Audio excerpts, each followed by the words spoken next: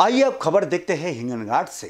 कारंजा चौक स्थित Jaiswal daily needs और Shruti daily needs kirana store पर लगाया दो दिन का ताला। जी हाँ आठ तारीख की रात नौ बजे की ये घटना है जब नगर परिषद के कर्मचारी विशाल ब्राह्मणकर को प्राप्त सूचना के आधार पर पुलिस निरीक्षक सत्यवीर बंडीवार साहब के निर्देश के अनुसार दो दुकानों पर दो दिनों की सील लगाकर उसे पूरी तरह से बंद किया गया।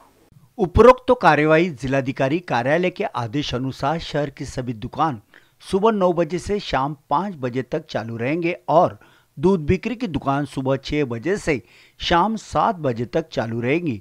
ऐसा आदेश पत्र द्वारा दिया गया था। लेकिन आज जो कार्यवाही की गई, उसमें दोनों दुकान समय सीमा से ज़्यादा देर तक चालू होने से की गई। लेकिन यह कार्यवाही अपने आप में एक सवाल या निशान छोड़ रही है। शहर की विभिन्न दुकानें और होटल्स भी जिलाधिकारी के आदेश की अवमानना करते नज़र आ रही है। शहर के होटल्स को रात नौ बजे तक सिर्फ़ पार्सल सुविधा की अनुमति दी गई थी, लेकिन कुछ होटल्स इस आदेश का पालन नहीं कर इस पर नगर परिषद और पुलिस प्रशासन अनदेखी भी कर रहा है। कोरोना से लॉकडाउन में दो नियम से काम किया जा रहा है। आज जिस तरह से कार्यवाही की गई, ऐसे ही बाकी दुकान होटल में भी होना चाहिए, जिससे एक समान कायदा और नियम साबित हो। आज दिनांक आठ आठ दोन हज़ार वीस रोजी मान्य मुख्याधिकारी, नगर परिषद हिंगणघाट तसेच पोलीस निरीक्षक श्री बंडीवार साहेब यांनी रात्री नऊ वाजता मला फोनवरून दिलेल्या सूचनेनुसार श्री जयस्वाल डेली नीड्स आणि श्रुती किराणा स्टोर्स ही दोन दुकाने सुरू होती.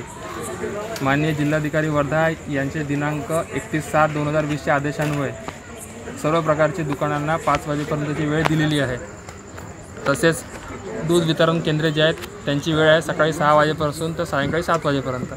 परंतु सायंकाळी सात वाजेनंतरसुद्धा ही दोन्ही दुकाने सुरू असल्याचे पोलीस विभागातील तीन कर्मचारी यांच्या दर्शनास आल्यामुळे बंडीवार साहेब तसेच माननीय मुख्याधिकारी नगरपरिषद हिंगणघाट यांच्या आदेशावरनं दोन्ही दुकाने दोन दिवसाकरता सील करण्यात आलेली आहे. तसेच त्यांना दोन हजार रुपये दंड ठोठावण्यात आलेला आहे. हिंगणघाट से रवि एनोरकर की रिपोर्ट इन बीसीएन के लिए.